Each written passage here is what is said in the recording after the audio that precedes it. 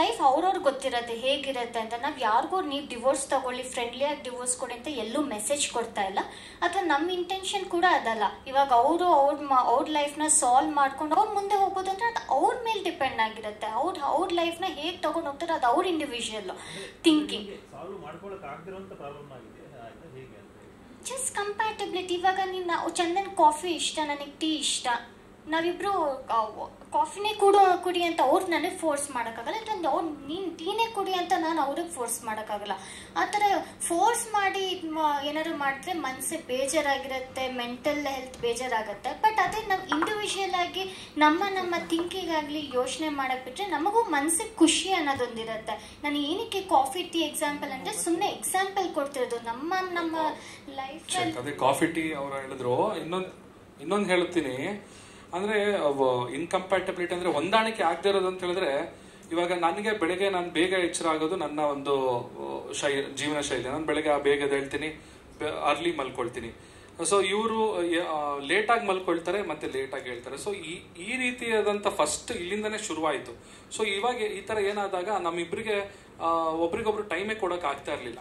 ಓ, ನಾ you she's a night person ನಾನು morning person so ಇಲ್ಲಿಂದ ಸ್ಟಾರ್ಟ್ ಆಗಿ ಹಲವಾರು ವಿಚಾರಕ್ಕೆ ನಾನು ಅವಾಗಲೇ ಫಸ್ಟಿಗೆ ನಾನು ಮೊದಲಿಗೆ ಹೇಳ್ದಂಗೆ ಇಬ್ಬರ ಒಂದು ಜೀವನ ಮತ್ತು ಜೀವನ ಶೈಲಿ, ನಾವು ಜೀವನನ ಅರ್ಥ ಮಾಡ್ಕೊಂಡಿರುವಂಥ ವ್ಯಾಖ್ಯಾನ ಬೇರೆ ಬೇರೆ ಇತ್ತು. ಸೊ ಹಾಗಾಗಿ ಅವ, ಅದಕ್ಕೆ ರೆಸ್ಪೆಕ್ಟ್ ಮಾಡಿ ಇವತ್ತು ಈ ಒಂದು ಡಿಸಿಷನಿಗೆ ಬಂದಿರೋದು. ಮತ್ತೆ ಅದನ್ನೇ ಮತ್ತೆ ನಾನು, ಇನ್ನೊಂದ್ಸಲ ಮತ್ತೆ ರಿಪೀಟ್ ಮಾಡ್ಬೇಕಾಗತ್ತೆ. ಇನ್ನೇನೇ ಕ್ವಶನ್ಸ್ ಬಂದ್ರು ಸೊ ದಯವಿಟ್ಟು ಆ, ಇವ ಇವಾಗ ನಾವು ಆಲ್ರೆಡಿ ಅದು ಮುಗಿದು ಹೋಗಿದೆ. ಇವಾಗ ಡಿವೋರ್ಸ್ ಆಲ್ರೆಡಿ ಸಿಕ್ಕಿದೆ. ನಿಮ್ಮ ಮುಂದೆ ನಾವು ಕ್ಲಾರಿಟಿ ಕೊಡಬೇಕಾಗಿತ್ತು. ಇದನ್ನ ನಾವು ನಂಬಾಯಿಂದನೇ ನಮ್ಮ ಒಂದು ಈ ಪ್ರೆಸ್ ಮೀಟ್ ಮುಖಾಂತರನೇ ತಿಳಿಸ್ಬೇಕಾಗಿತ್ತು. ಅದಕ್ಕೋಸ್ಕರ ಇವತ್ತು ಈ ಪ್ರೆಸ್ ಮೀಟಿಗೆ ಬಂದಿದ್ದೀವಿ. ಇನ್ನ ಇನ್ನಷ್ಟು ಹೇಳ್ಕೊಳ್ತಾ ಹೇಳ್ಕೊಳ್ಬಾರ್ದೇ ಇರುವಂತ ಅಂತ ವಿಚಾರ ಏನಿಲ್ಲ. ಅಂತ ಕೆಟ್ಟ ವಿಚಾರಗಳು ಆ ಥರದ್ದು ಏನು ಅಂಥದ್ದೇನು ಇಲ್ಲ. ಸೊ ಹಾಗೆ ಖಾಸಗಿ ವಿಚಾರಗಳನ್ನ ನಾನು ಎಲ್ಲರ ಮುಂದೆ ಬಹಿರಂಗವಾಗಿ ನಾನು ತಿಳಿಸೋಕ್ಕೂ ನನಗೆ ಮನಸ್ಸಿಲ್ಲ ಸೊ ಹಾಗಾಗಿ ದಯವಿಟ್ಟು ಎಲ್ಲರಿಗೂ ನಾನು ರಿಕ್ವೆಸ್ಟ್ ಮಾಡಿ ಕೇಳ್ಕೊಳ್ಳೋದು. ಒಂದು ನಮ್ಮ ಒಂದು ಖಾಸಗಿ ವಿಚಾರನ ನಮ್ಮಲ್ಲಿಯೇ ಅದು ಇರ್ಲಿಕ್ಕೆ ಬಿಡಿ ಅಂತ ಕೇಳ್ಕೊಳ್ತೀನಿ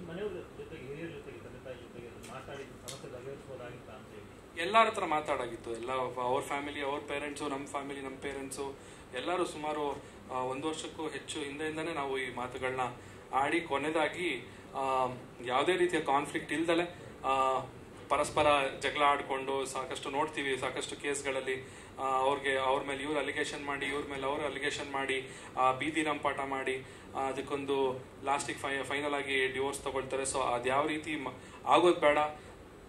ನಾವು ಯಾವ ರೀತಿ ಮದುವೆ ಆಗಬೇಕಾದ್ರೆ ಒಂದು ಖುಷಿಯಾಗಿ ಮದುವೆ ಆಗಲಿ ಸೊ ಬಿಟ್ಟೋಗ್ಬೇಕಾದ್ರೂ ಆ ಒಂದು ಮನಸ್ಥಿತಿಲೇ ನಾವು ಎಂಡ್ ಮಾಡೋಣ ಅಂತ ಅಂದ್ಕೊಂಡು ಈ ಥರ ಮಾಡಿದ್ವಿ